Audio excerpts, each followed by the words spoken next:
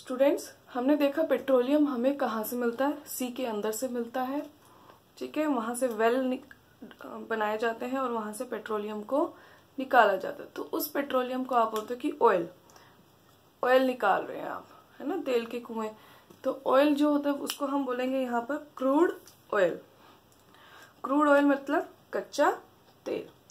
अब वो जो पेट्रोलियम आप लेकर आए हो, उस पेट्रोलियम में आगे फर्दर प्रोसेस होता है, वो बोलते हैं फ्रैक्शनल डिस्टिलेशन ऑफ़ पेट्रोलियम जिसको बोलेंगे एक और रिफाइनिंग की जाती है। उस पेट्रोलियम से आगे फर्दर बहुत सारी चीज़ें निकाली जाती हैं, और जिनका आगे भी बहुत जगह पर यूज़ होता है। पेट्रोलियम सिर्फ़ आपका पेट्रोल के लिए नहीं होता एक्चुअल में पेट्रोल के लिए पेट्रोलियम हम बोलते हैं एक्चुअल में ये क्रूड ऑयल होता है। कच्चा तेल। ठीक है? इस पेट्रोलियम से पेट्रोल भी निकलता है, इसलिए इसको पेट्रोल बोलते हैं। तो ये जो क्रूड ऑयल है, इससे बहुत सारी चीज़ें निकलती हैं और फिर आगे बहुत सारे जगह पर इंडस्ट्रीज़ में या किसी और ऑटोमोबाइल्स में इनका यूज़ होता है। तो रिफाइनिंग करने के लिए एक ये फ्रैक्शनेटिंग कॉलम बनाया जाता है। कॉलम ऐसे वर्टिकल टावर है ये एक टावर बनाया जाता है, जिसमें आप देख सकते हैं डिफरेंट डिफरेंट टेम्परेचर्स यहाँ मेंशन है। डिफरेंट डिफरेंट टेम्परेचर्स हैं। ठीक है? डिफरेंट टेम्परेचर्स और इस एक्चुअल में, इस फ्रैक्शनेटिंग कॉलम में क्या करते हैं? ऑयल को मेन प्रोसेस क्या है? ऑयल को वेपर्स में कन्वर्ट करते हैं और ये वेपर्स को कंडेंस करते हैं और फिर लिक्विड बना, एक लिक्विड बन जाएगा। ऑयल को वेपर्स में कन्वर्ट करेंगे। ऑयल को वेपर्स में कन्वर्ट करेंगे देन उनको कंडेंस करेंगे। ठंडा होने के बाद वो क्या बन जाएगा? एक लिक्विड और उस लिक्विड को आप निकाल लेंगे या ले लेंगे और उसको आगे फर्दर यूज़ करेंगे। तो ये पूरा एक प्रोसेस चलेगा यहाँ पर। जब ऑयल को वेपर्स में कन्वर्ट करेंगे ऑब्वियसली वो टेम्परेचर पे कन्वर्ट करेंगे। तो ये जो वेपर्स हैं ये ऐसा नहीं कि आपको एक ही टेम्परेचर में मिलेंगे। आप डिफरेंट डिफरेंट टेम्परेचर्स पे वेपर्स बनाएँगे, ठीक है? और उन वेपर्स को कंडेंस करके एक लिक्विड लेंगे। अब यहाँ पर जो भी चीज़ें आपको मिलेंगी, ये जो यहाँ ब्लू पेन से यहाँ लिखा है, ये जो भी चीज़ें मिलेंगी, ये डिफरेंट बॉइलिंग पॉइंट पे मिलेंगी। डिफरेंट बॉइलिंग पॉइंट मतलब सबका अपना डिफरेंट बॉइलिंग पॉइंट है कि इनके वेपर्स कि किसी के 20 डिग्री सेल्सियस पे वेपर्स बन रहे हैं, किसी के 120 डिग्री सेल्सियस पे वेपर्स बन रहे हैं, इस तरह से। या एक बेसिक एग्जांपल समझाया जाए, जैसे आप स्कूल बस में जाते हो तो आपके घर से एक किलोमीटर के डिस्टेंस पे कोई ना कोई स्टूडेंट बैठता होगा, ठीक है? तो वही चीज़ है, जब आप ऑयल को गर्म करना स्टार्ट करेंगे हीट करना स्टार्ट करेंगे तो पहले टेम्परेचर ज़ीरो डिग्री सेल्सियस है, ठीक है? धीरे धीरे वो टेम्परेचर इंक्रीज होगा। ज़ीरो से वो धीरे धीरे इंक्रीज होगा टेन ट्वेंटी अब टेन पे कुछ वेपर्स कुछ वेपर्स जो है पेट्रोलियम के अंदर पेट्रोलियम एक कंप्लीट ऑयल है। इस ऑयल में कुछ ऐसी चीज़ें होंगी जो टेन डिग्री सेल्सियस पे वेपर्स बन जाएगी। फिर देन टेम्परेचर फर्दर इंक्रीज करेगा सपोज़ ट्वेंटी ट्वेंटी तो यानी पेट्रोलियम इस क्रूड ऑयल के अंदर, इस ऑयल के अंदर कुछ ऐसी चीज़ें हैं जो सिर्फ़ ट्वेंटी डिग्री सेल्सियस पे वेपर्स बनाएगी। या हीट होगी। ठीक है?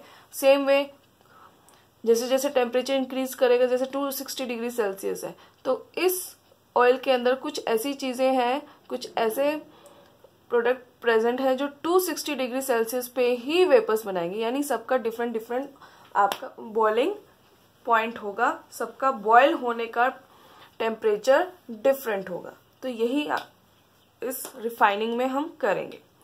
तो जैसे ही ऑयल को आपने गर्म किया हीट किया, ठीक है हीट किया तो क्या हुआ? 20 डिग्री सेल्सियस पे। अभी टेम्परेचर कम है 20 डिग्री सेल्सियस है।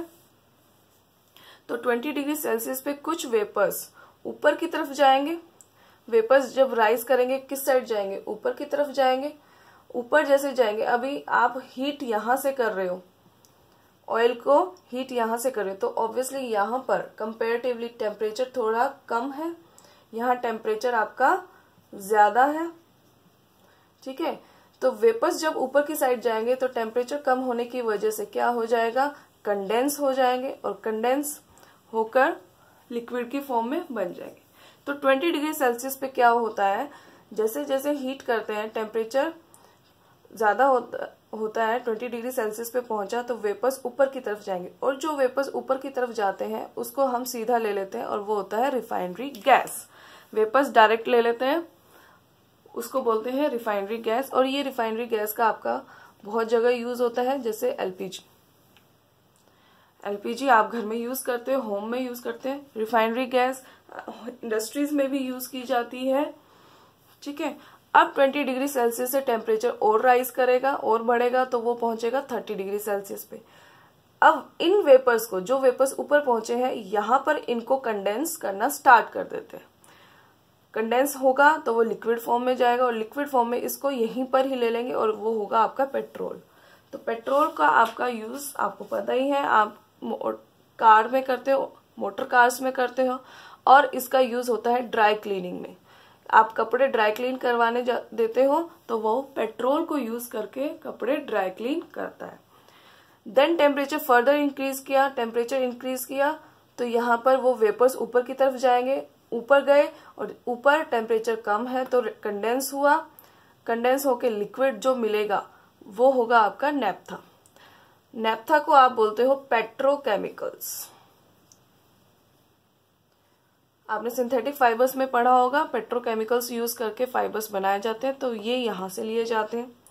देन फिर से टेम्परेचर इंक्रीज करेंगे तो 180 डिग्री सेल्सियस पहुँच जाएगा। तो वहाँ पर फिर से कंडेंस करके जो लिक्विड फॉर्म में आपको प्रोडक्ट मिलेगा, वो होगा कैरोसिन कैरोसिन स्टोव्स और लैम्प्स में आपको पता ही है इसका यूज़ लेकिन इसका एक और यूज़ है जेट एयरक्राफ्ट में।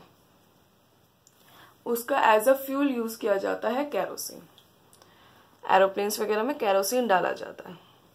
देन टेम्परेचर 260 डिग्री सेल्सियस पे जब पहुंचेगा तो इसके वेपर्स को कंडेंस करके जो लिक्विड मिलेगा, वो आपका डीजल डीजल आपको पता है हैवी मोटर व्हीकल्स में यूज़ होता है।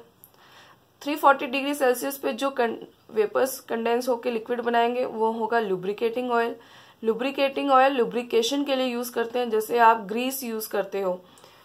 ग्रीस यूज़ करते हो आपके साइकिल में चेन में डालने के लिए। सो so देट एक स्मूथली वो मूव कर सके। तो उसी तरह इंडस्ट्रीज़ वगैरह में जो हैवी मशीन्स होती हैं, उनको लुब्रिकेट करने के लिए लुब्रिकेटिंग ऑयल यूज़ किया जाता है। 400 डिग्री सेल्सियस पे जो कंडेंस होंगे वेपर्स और जो लिक्विड फॉर्म में मिलेगा, वो फ्यूल ऑयल जिनको आप यूज़ करते हो शिप्स में। शिप में यूज़ किए जाते हैं इस फ्यूल ऑयल को।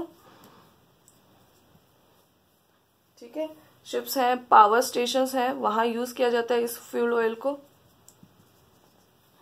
पावर स्टेशन में।